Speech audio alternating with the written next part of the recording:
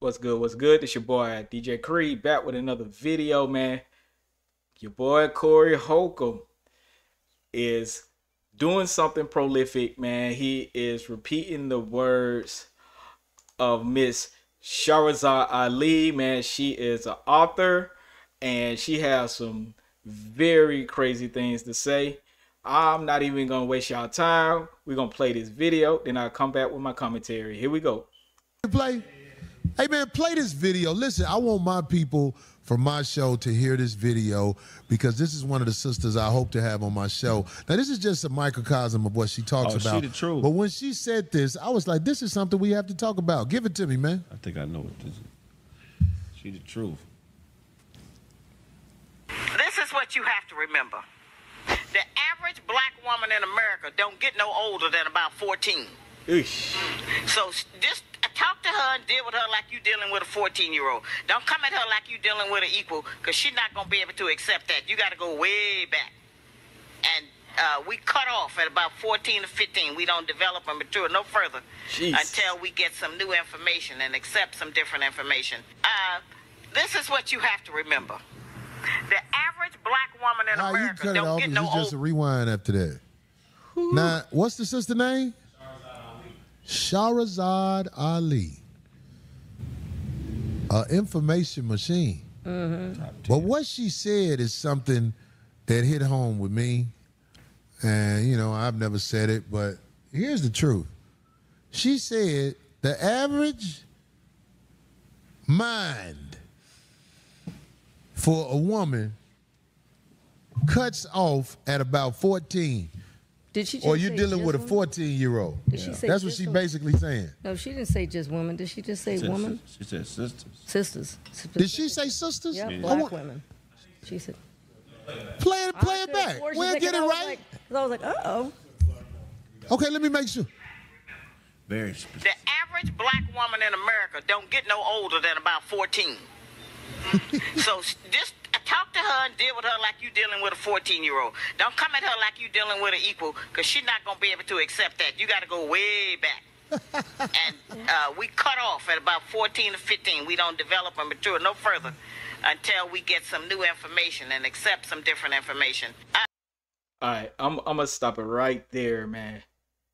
That is a lot, a lot, man. If y'all don't know who uh Shahrazad Ali is, um, I had to do some just some little a little research, and um, come to find out, you know, she is an author.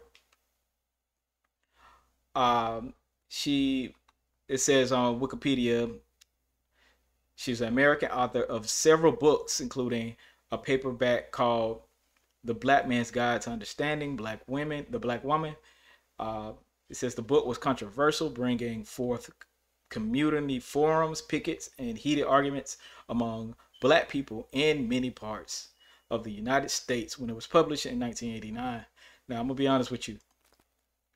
I never really heard of this woman, and you know, I do read, but I will say this: I, I wasn't, you know, really paying that close attention. But this is some a powerful statement. You know, not saying she's right or wrong, um, but it does have uh, a sample of a passage of her book, and this is this is y'all check this out, man. This is crazy.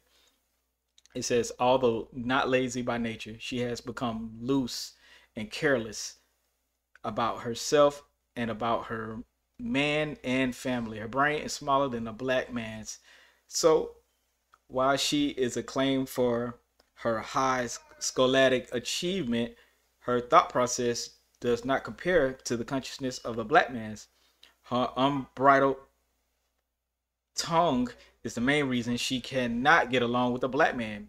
If she ignores the authority and the superiority of the black man, there's a penalty. When she crosses the line and becomes viciously insulting, it is time for the black man to soundly slap her in the mouth. what is, man? I'm gonna be honest with you. I'm gonna do more research into, you know, this this person because um I'm not trying to be controversial, but you know, it gives me insight into why she said something like that. And I, I don't know if Corey Holcomb uh, has done any research on this person. Uh, but we will continue with the show and we'll you know we'll like carry the conversation on from there. But it's it's very interesting. Go Pies. It's hilarious. So I'm gonna go back to where we were and just like it, it's crazy. It's real crazy. They'll stomp off. Very The average black woman in America don't get no older than about 14. so s- just uh, talk to her and deal with her like you're dealing with a 14 year old. Don't come at her like you're dealing with an equal because she's not going to be able to accept that. You got to go way back. and uh, we cut off at about 14 to 15. We don't develop and mature no further until we get some new information and accept some different It's like dealing with a 14 year old. Now, did I get it right? Yeah, Yeah. right. And she even said we, so she's including herself. She's not speaking. I am in so much agreement with that statement because I have talked to women my age and they don't care what you say. they want what they want, and if you're not going to do what they want you to do, they'll stomp off. And that's not even 14. That's like a six year old or a five year old. I think 14 was generous. I am letting you know this. That mirror that she just held up for a lot of people to see, it may be shocking, but it's necessary. I want you to know if you conduct yourself like a child, will you please stop acting like you're an adult? I, I agree. You're not an adult. You're just an old child. And you know who I'm talking about because you are offended right now. Good one. You are offended right now at the fact that that woman said it and I'm backing it up. You're offended because you conduct yourself like a child. I know women, and I'm talking about most of them I know. I cannot hold a conversation with them. And they will act like it's me. You know, it's called psychological age regression. Craig be having them Craig Yeah, facts, yeah, boy. yeah. Explain that, Craig. Yeah, it's just uh, when a trauma occurs in a person's life, um, they can get stuck in the emotional, mental state or revert to the emotional, mental state of a of a younger age. Often the age in which the experience, the, uh, in which they experience a significant trauma. Now this is this I can agree with that because sometimes, you know, a woman can seem like she's mature, she's handling business, or any any person really, but once you get her pissed off or once you get her pissed off, it seems like they do the most childish and say the worst childish things ever. And this this this goes it it, it applies to, you know, not only women, but it applies to men too. You know, so I do agree with the statement, but this is very interesting. Um and I think, you know, we definitely need to hold people accountable when they regress back to this state. And once these childish people actually get new information and learn new things, they definitely should change their ways. But some people don't. You know, you we all know some people who are grown and still act like children. Somebody said all women, not just black women. I agree with that too. Exactly. Childlike but I, I was just correcting what you were saying because I didn't want it to get right. I Well, didn't- well, the sister, she mean gonna me. speak for us. Yeah.